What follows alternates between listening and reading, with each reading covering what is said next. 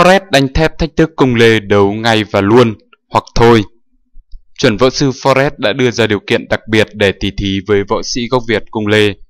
Cách đây ít ngày, sau những tranh cãi liên miên, cung Lê và nhóm truyền thông của mình đã đưa ra thông báo rằng sẽ chấp nhận thượng đài cùng Forrest với điều kiện đôi bên phải ký giấy giao kèo từ trước và phải chờ 3 tháng nữa mới về Việt Nam tỉ thí. Sau khi võ sĩ gốc Việt thực hiện xong một dự án phim, trước động thái của cung Lê, cách đây ít phút, chuẩn võ sư Forrest đã đưa ra câu trả lời đầy cứng rắn.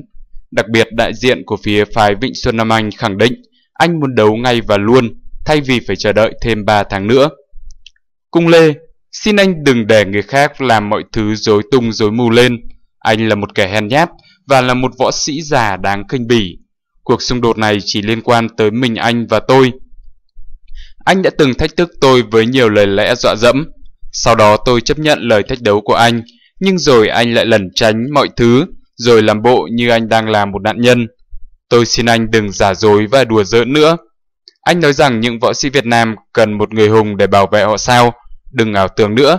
Anh hãy chiến đấu như một người đàn ông và anh không cần trở thành người hùng giả tạo. Tại sao tôi lại phải đợi đến khi bộ phim của anh được hoàn tất? Tôi nghĩ anh chỉ muốn đánh bóng tên tuổi cho bộ phim của mình bằng cách nhắc đến thôi. Tôi đã xem các trận đấu của anh, nếu anh muốn đấu, chúng ta hãy đấu ngay bây giờ. Tất cả những cuộc tranh cãi chỉ làm cho mọi người cảm thấy mệt mỏi.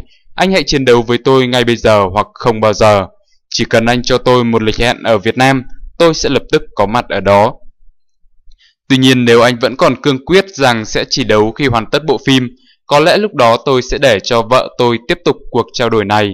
Cô ấy sẽ làm tốt hơn tôi. Như vậy Forrest đã đưa ra yêu cầu duy nhất, đó là được tỉ thí ngay lập tức với cung Lê.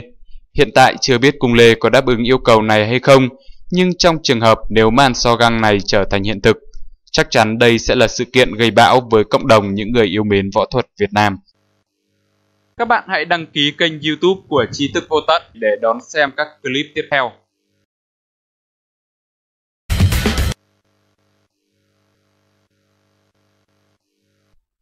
Đại ca Nam Anh Kiệt của Forest tố cung Lê đang dùng chiêu trò bóc mẽ võ công điện giật.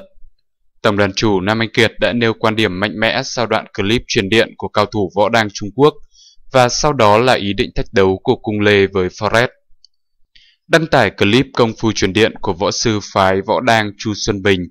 Màn biểu diễn này lập tức vấp phải nhiều sự đả kích trong bối cảnh Chu Xuân Bình vừa để thua ê chề trước một võ sĩ MMA nghiệp dư Thậm chí một số nhân vật trong làng võ Việt Nam như võ sĩ kickboxing Huỳnh Văn Dũng hay võ sư Ngô Xuân Thi cũng chia sẻ đoạn clip và khẳng định đây là một trò bịp.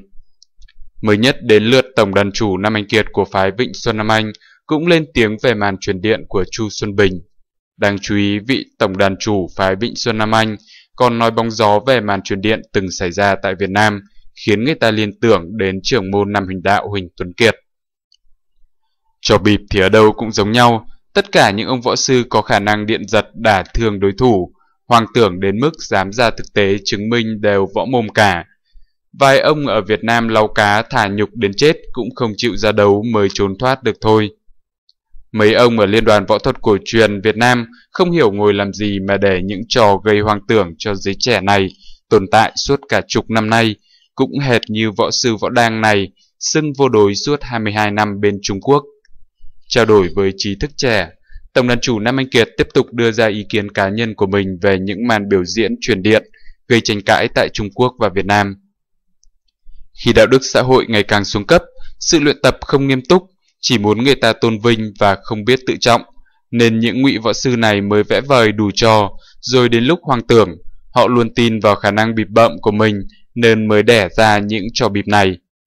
Tôi nghĩ một số lãnh đạo ở cấp quản lý cũng bị bịt mắt hoặc nhận được lợi ích nào đó, nên những trò này mới ngày càng phát triển.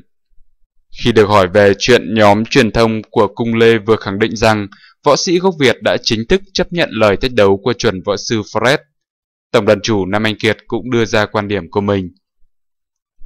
Tôi đang muốn soạn một bức thư để gửi tới Cung Lê, tất nhiên dưới vai trò của Tổng đàn chủ của Vịnh Xuân Việt Nam chính thống phái, tôi phải có ý kiến về chuyện này. Nếu Forrest có đấu với Cung Lê thì chắc cũng phải sau khi gặp Trương Đình Hoàng trong tháng 6 này. Nhưng tôi nghĩ đây là một chiêu trò của cung Lê mà thôi. Nếu anh ta muốn đấu thật thì đã tìm cách khác rồi. Tôi sẽ phân tích rõ hơn ý định thực sự của Cung Lê trong một ngày gần nhất.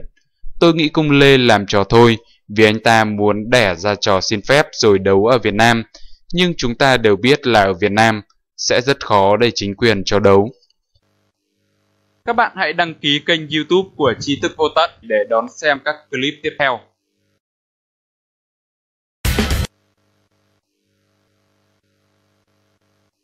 Cung Lê sẵn sàng ký giấy cam kết từ chiến và đấu cho đến khi Forrest đầu hàng. Trận đấu đáng mong đợi giữa Cung Lê và chuẩn võ sư Forrest đang tràn trề hy vọng được diễn ra khi ngôi sao gốc Việt chấp nhận lời thách đấu của đối thủ. Thời gian vừa qua, võ sư Forrest và cựu võ sĩ MMA Cung Lê thường xuyên có những màn khẩu chiến thông qua mạng xã hội.